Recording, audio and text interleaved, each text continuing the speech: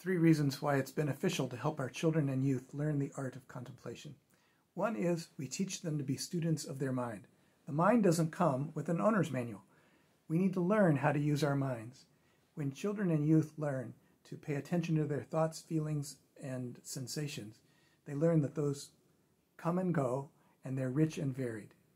Two, we can help our children learn to find peace of mind, a place of quiet and rest and calm within themselves so that they can deal better with the difficulties of life. They can find within themselves a place that's beyond facts and reason, a place of discovery and mystery. And third, we can help them learn that as they have a rich inner life, every human being also has a rich inner life.